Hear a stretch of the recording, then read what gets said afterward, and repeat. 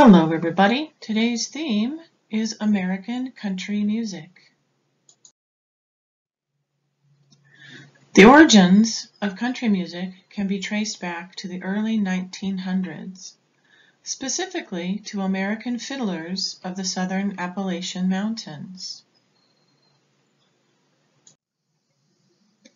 Country music consists of ballads and dance tunes with simple song forms folk lyrics, and harmonies mostly accompanied by string instruments such as banjos, guitars, steel guitars, and fiddles, as well as harmonicas.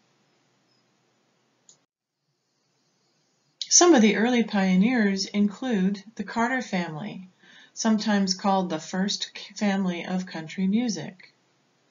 Also Jimmie Rodgers, known for his yodeling uh, style and his uh, also titled Father of Country Music. Jimmie Rodgers is pictured with the hat in this particular slide, and the Carter family is pictured with a zither and a guitar, and the male member of the Carter family standing.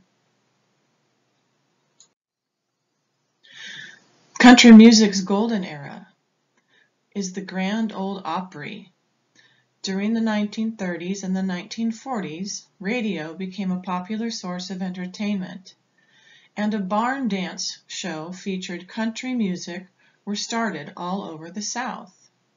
The most important was the Grand Ole Opry, which aired starting in 1925 to the present day.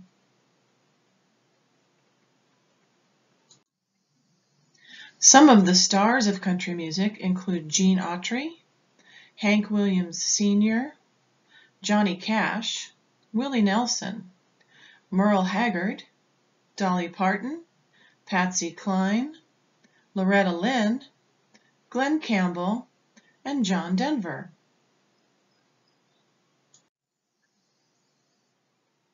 This is Gene Autry on your left and Hank Williams Sr. on your right.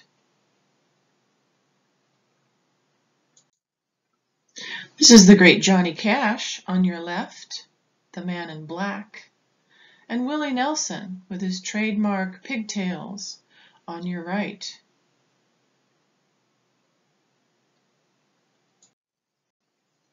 We have a combination of ladies in this slide.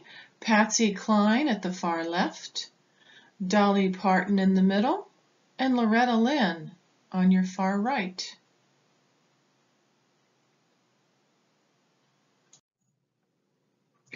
Please play some of the country music videos and I hope you enjoy them.